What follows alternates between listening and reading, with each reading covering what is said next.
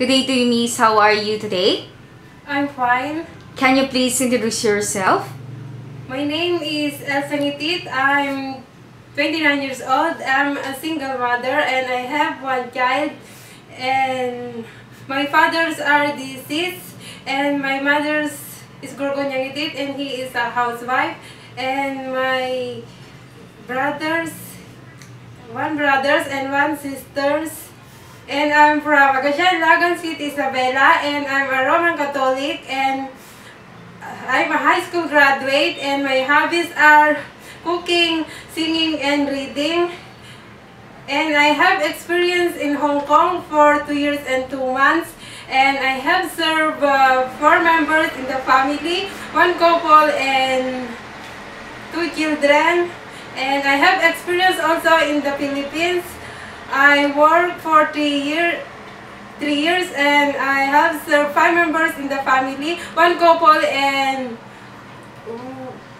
one teenager and two children. Okay, Miss. How was your experience with your previous employer? It was good, ma'am. Why did not renew your contract with your previous employer? I go home because I'm getting married, ma'am. What are your main duties from your previous employer? My main duties are cooking, cleaning, and marketing, washing car. Okay, very good. Can you manage to take care of newborn baby? Yes, ma'am, I can manage because I have experience to my baby.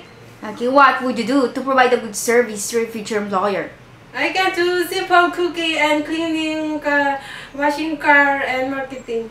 Are you hardworking? Yes, ma'am. What made you decide to work in Hong Kong? To earn money for my family, ma'am. And how long do you plan to work in Hong Kong? As long as they want me to stay, ma'am. Does your husband allow you to work abroad?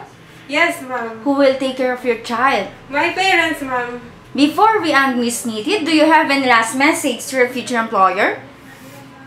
To my future employer, please do hire me because I'm a hardworking person and I will be responsible and I give my best that I can. Thank you, ma'am and sir. Thank you very much and hope to see you soon in Hong Kong.